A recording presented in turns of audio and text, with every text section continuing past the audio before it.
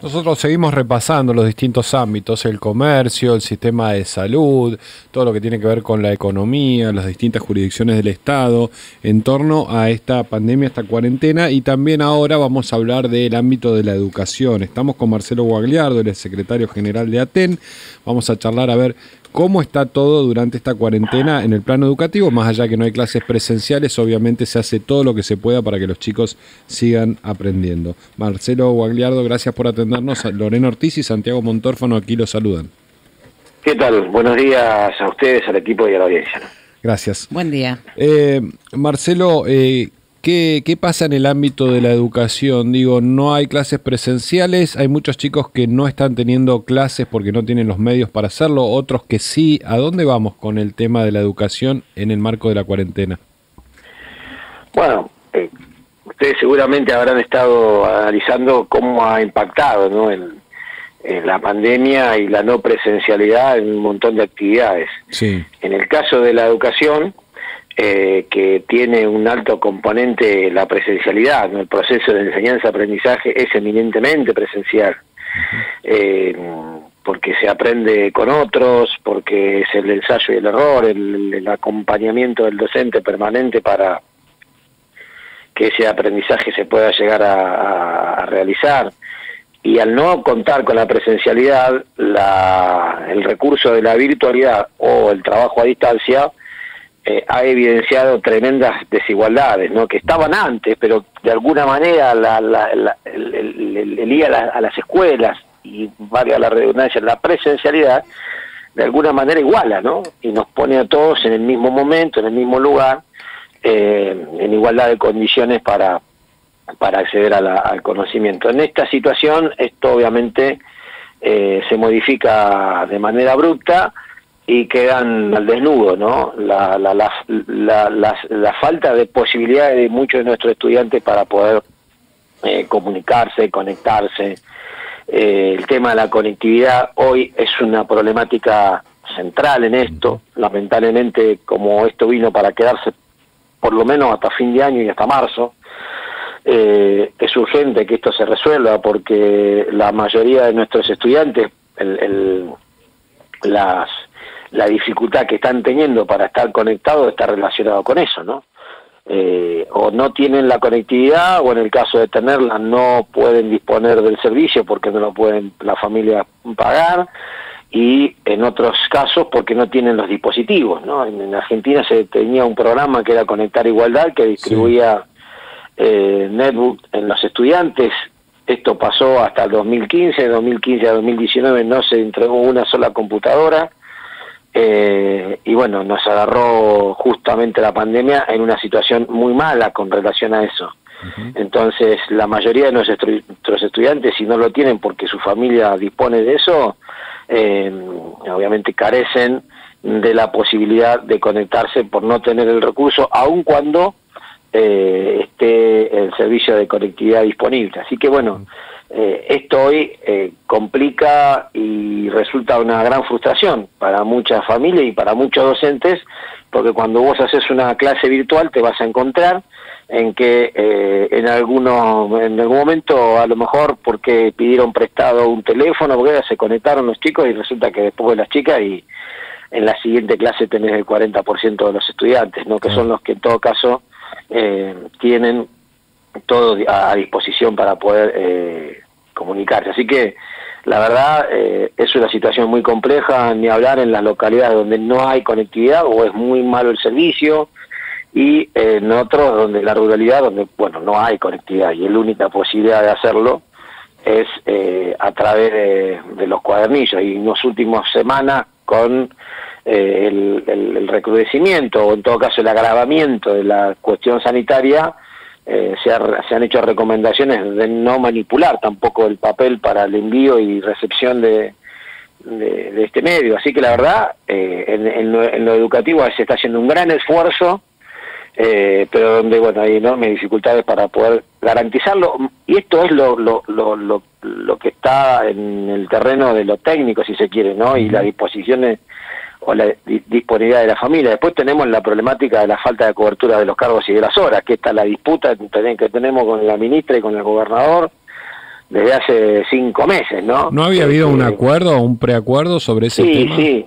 Eh, avanzamos en fin el, cuando recién lo pudimos empezar a resolver sobre finales de primera parte del año y esto está haciendo bueno hay filtros para las eh, para los ofrecimientos y estamos teniendo muchas dificultades para que se ofrezcan todo lo que las escuelas están pidiendo que necesitan entonces tenemos dificultades para cubrir incluso un cargo de maestro de grado o eh, profesores de música de área de área artística que son fundamentales en este tiempo en el que eh, el, arte puede permitirle a nuestros estudiantes tener también y disponer de otra eh, otros recursos para pasar este tiempo eh, o nos están faltando cubrir horas del nivel medio no en materias que están siendo claves para que los chicos que están sobre todo en los últimos años puedan tener las áreas que necesitan para que cuando se termine puedan permitirles las acreditaciones eh, o, no se están cubriendo la demanda de horas en el nivel superior, donde se están formando nuestras y nuestros docentes para los próximos años, y ni hablar de los problemas que tenemos para cubrir cargos de directivos en escuelas primarias y jardines de infantes, donde hay más de 60 escuelas que no tienen eh, cubiertos esos cargos que son claves para la posibilidad de conducir y de acompañar a los equipos docentes en esta tarea y en este tiempo tan complejo, ¿no? ¿Qué se hace después de todo esto? Porque aquí el otro día se planteaba el tema, ¿no? No me acuerdo con quién lo charlábamos al aire. Esto de eh, si uno hace, mm, hace que todos repitan de grado, va a ser injusto con los chicos que sí estuvieron estudiando y demás. Y si uno eh, dice que pasen de grado solo los que pudieron, está claramente tomando una medida injusta porque tiene que ver más que nada con los recursos y las posibilidades económicas de cada uno, ¿no? Entonces, ¿qué se hace en la pospandemia con la educación? Eh, ¿Se tienen que recuperar los contenidos del año que viene? ¿Tienen que repetir todos? ¿Tienen que pasar todos? ¿Cómo se soluciona esto? Nosotros nos inclinamos por, por eh, eh, tener o considerar este año como parte de un proceso, no un año que cierra en diciembre. Eh, porque como bien decís, puede ser absolutamente injusto, ¿no? Por esto que antes comentábamos, no han tenido todos la misma posibilidad y poner sobre las espaldas de los estudiantes este año tan complejo eh, sería una, una carga no merecida, ¿no? Y que puede ser una gran frustración para muchas chicas y muchos chicos, más allá del, nivel en el que se encuentran, ¿no? Entonces eh, nos inclinamos por considerar este año y el año que viene como una unidad pedagógica, es decir, eh, lo que lo que no quiere decir que porque tienen que, eh, digamos, este año va a haber promoción y no es automática como se ha dicho tampoco, nadie tiene que seguir haciendo nada, porque en realidad va a haber que acreditar conocimientos en, determinados momentos para poder eh, mantenerse en el nivel en el que estén o garantizar la promoción el año que viene cuando esto se pueda plantear. Pero digo, nos inclinamos por analizarlo así, ¿no? Es decir, eh, la dificultad mayor está puesta en aquellos que están terminando los, los ciclos, es decir, un estudiante del nivel primario que tiene que pasar al secundario o un estudiante del nivel medio que ingresa a la universidad esto se ha planteado incluso a nivel nacional, de que hoy todo el sistema tiene que adaptarse a esta situación. Es decir, el, el nivel secundario tiene que saber que va a recibir estudiantes que vienen de una primaria, donde su séptimo grado o su sexto grado, depende de la provincia, eh, no fue igual que el que, que si hubiese sido un año normal. Entonces va a tener que, de alguna manera, adecuar el, el, primer año a esa condición. Y lo mismo tiene que hacer la universidad, porque si no nosotros estaríamos condenando a las generaciones que les tocó estar en este tiempo a que pierdan un año eh, eh, y, y, sería absolutamente injusto. Y esta es una situación que la tenemos que tomar y analizarla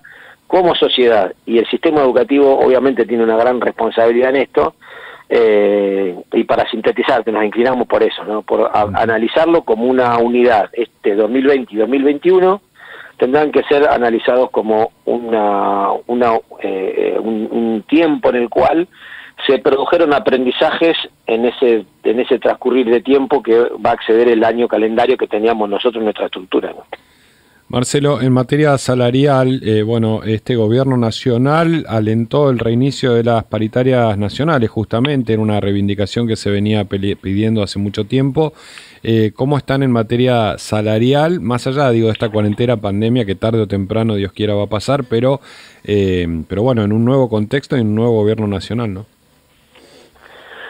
Bueno, esto es clave, ¿no? La reapertura de la paritaria nacional eh, permite que hoy se puedan estar discutiendo un montón de situaciones en estas circunstancias incluso eh, en ese marco. De hecho, hay una paritaria nacional que, plantea cuestiones de tipo laborales en el marco de el trabajo virtual, que no, no existía, no, no, había legislación sobre estas eh, condiciones de trabajo que nos impuso la pandemia.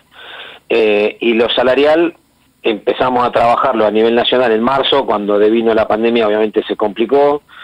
Hubo una nueva reunión paritaria en el mes de julio que eh, prorrogó una, eh, un aporte que hace Nación a todas las provincias eh, por docente y estamos planteando desde la CETERA la reanudación de esa discusión paritaria porque claramente eso es un paliativo que es insuficiente y no da cuenta de la situación real. Y, en, y también estamos planteando la reapertura en las provincias. Nosotros en el caso de Neuquén, ustedes saben que tenemos los salarios congelados a diciembre del año pasado, que fue la última medición de IPC que se hizo, que se pagó con los saberes de enero. Toda la carga de, de, inflación del año 2020 aún no está eh, compensada. Por lo tanto, es urgente que la provincia reabra y convoque a, las, a los ámbitos de discusión de mesas salariales eh, porque bueno, obviamente este retraso salarial agregado a los problemas que hemos tenido de falta de cobertura de cargos, que es salario para el caso de los docentes, para los chicos es no tener docentes, como lo decimos en nuestras eh, publicaciones, para los docentes no tener trabajo, ¿no? Entonces hay muchos compañeros que han tenido esa dificultad adicional ya al, al, a la pérdida del poder adquisitivo de los salarios, hay dificultades con los tiempos en los que se están pagando los sueldos, de hecho estamos judicializando también esa demanda para que se vuelva y se pague en tiempo y forma. Fíjate que el plazo de vencimiento en el mes pasado se, se pagó recién el día 13, este mes se mejoró, en poquito se va a pagar hoy y mañana, estamos 9 y 10, o sea, fuera de los plazos legales que se vencieron el día lunes el aguinaldo se desdobló y todavía no se paga su integralmente, no, se debe todavía un 30% de eso. Entonces, la verdad que en términos salariales también está siendo un año en el que eh, los trabajadores de la educación no estamos ajenos a una problemática general, pero claramente la estamos planteando con mucha preocupación y el gobierno debe convocar para eh, compensar esto, si no nos va a poner en una situación muy compleja de eh, superar una, una distancia salario-inflación que puede llegar a este año a más de un 30% y si no hay eh, recuperación de eso, el año que viene, ¿cómo se discute? no Marcelo Guagliardo, muchísimas gracias por habernos atendido. No, por favor, gracias a ustedes. Hasta luego. Gracias. Marcelo Guagliardo, el secretario general de Aten, aquí en la provincia de Neuquén. Hicimos un popurrí de tema desde las cuestiones de conectividad en la educación, quién puede, quién no puede, qué tan justa e injusta está siendo la situación para muchos chicos eh, en los niveles primarios y medios y también la cuestión más eh, dura, si se quiere, que tiene que ver con salarios eh, en el marco de la educación, del sistema educativo de la provincia de Neuquén.